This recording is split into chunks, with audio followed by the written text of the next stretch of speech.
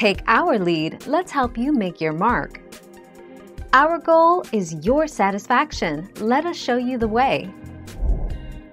Place your index and middle finger of your hand on the inner wrist of the other arm, just below the base of the thumb.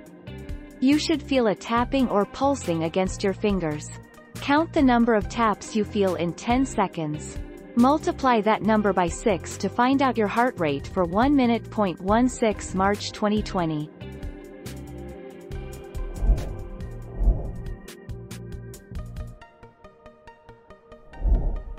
Take our lead.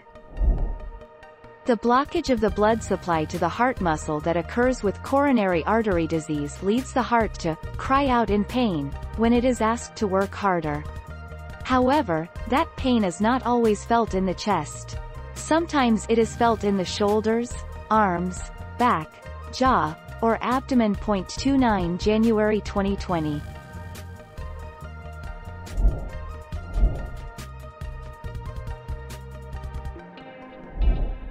Take our lead. Although chest pain is common to both a panic attack and a heart attack, the characteristics of the pain often differ. During a panic attack, chest pain is usually sharp or stabbing and localized in the middle of the chest. Chest pain from a heart attack may resemble pressure or a squeezing sensation.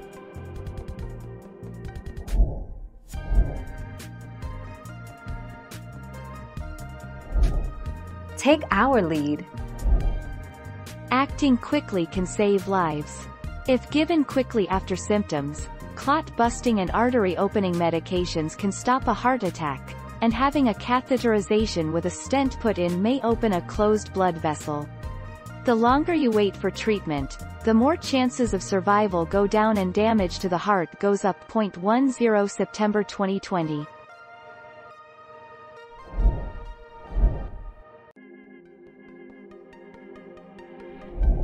Make your mark, take our lead. Here are four signs of heart attack to be on the lookout for. Number 1. Chest pain, pressure, squeezing, and fullness. Number 2.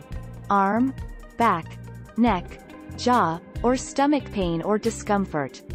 Number 3. Shortness of breath, nausea, and lightheadedness. Number 4. Breaking out in a cold sweat. Heart attack symptoms. Women versus men. What next? Next steps. Thank you for watching. Please subscribe and hit the bell notification.